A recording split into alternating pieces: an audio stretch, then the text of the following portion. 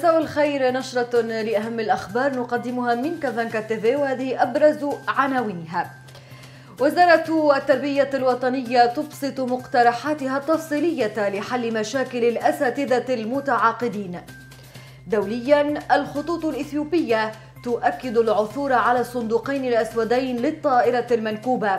وفي الرياضة زيدان يحسم موقفه من عرض ريال مدريد. أهلا بكم إلى التفاصيل. أعلن وزير التربية الوطنية والتكوين المهني والتعليم العالي والبحث العلمي سعيد أمزازي أن الاقتراحات التي جاءت بها الحكومة ترمي إلى تجويد الوضعية الحالية المبنية على التوظيف بموجب عقود بالانتقال إلى وضعية نظامية مماثلة لوضعية الموظفين الخاضعين للنظام الأساسي الخاص بموظفي وزارة التربية الوطنية وذلك في إطار التوظيف الجهوي من طرف الأكاديمية الجهوية للتربية والتكوين. وأوضح بلاغ للوزارة أن أمزازي أكد خلال اجتماع عقده مع النقابات التعليمية الأكثر تمثيلية داخل قطاع التربية الوطنية بتوجيهات من رئيس الحكومة والذي خصص لتدارس وضعية الأساتذة أطر الأكاديميات الجهوية للتربية والتكوين أن مقترحات الحكومة تشمل محاور تعديل مقتضيات النظام الأساسي الخاص بأطر الأكاديميات والتنصيص في النظام الأساسي لأطر الأكاديميات على مجموعة من الحقوق وأيضا المصادقة على التعديلات. أقدم أطر وأباء وأمهات مركز التربية الفكرية للأشخاص التوحديين بطنجة على تنظيم وقفة احتجاجية صباح اليوم استنكارا لغياب الموارد المالية للمركز وإمكانية إغلاقه. هذا ونقل المعنيون بالأمر احتجاجاتهم من بوابة المركز إلى مقر ولاية جهة طنجة تطوان الحسيمة. من أجل إيصال صوتهم مطالبين بتدخل الجهات المسؤولة لإيجاد حل لهم.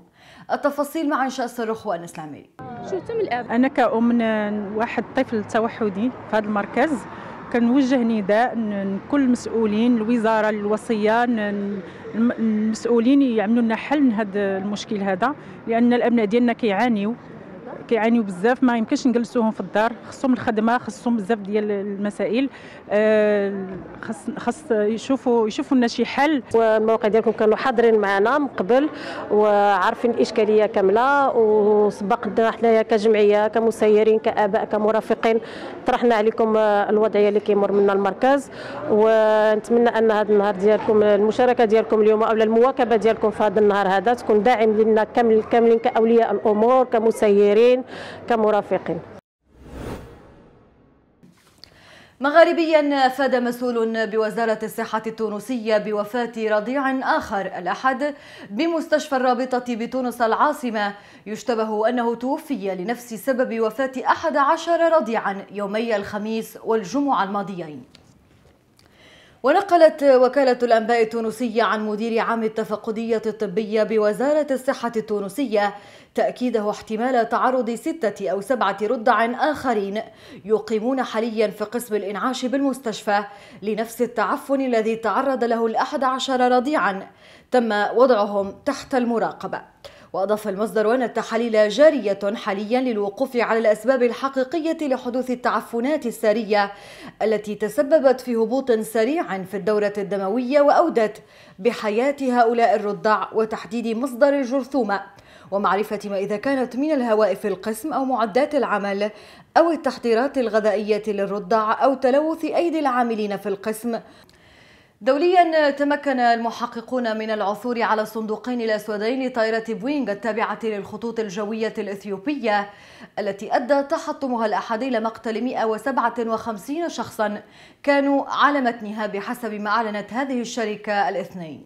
وأعلنت الخطوط الجوية المملوكة من الدولة على حسابها الرسمي على تويتر أن الصندوق الأسود الذي يحتوي على البيانات التقنية للرحلة والآخر الذي يسجل المحادثات في قمرة القيادة قد عثر عليهما.